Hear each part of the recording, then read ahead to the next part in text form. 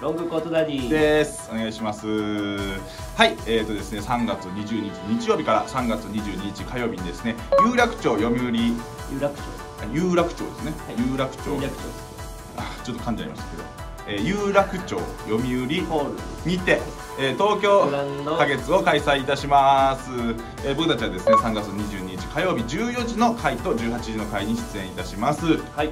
はいこちらですね楽しそう。うん有楽町で。東京グランド花月。有楽町。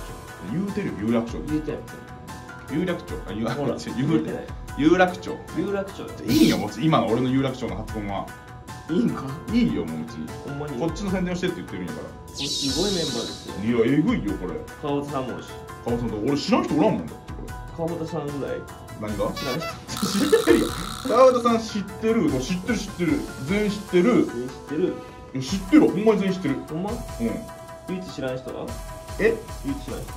唯一知らん人はえー、っとこの末広がりさんの右の方三島さん三島さんか。いや知ってるだろ。違う違う違う。お前変なふりするからや。知ってます。全員知ってます。はい。全員知ってる方出てくるのでえー、っとですね漫才。コント。中田。漫才の伝道とちょっとい。やお前さごめんごめんごめんごめん。カタカナのとこだけ。仲いいって。こんな仲いいって思っちゃない カタカナのとこだけ思ってたけどダンス師匠の名前分けるのはマジでよくないと思うんだけど。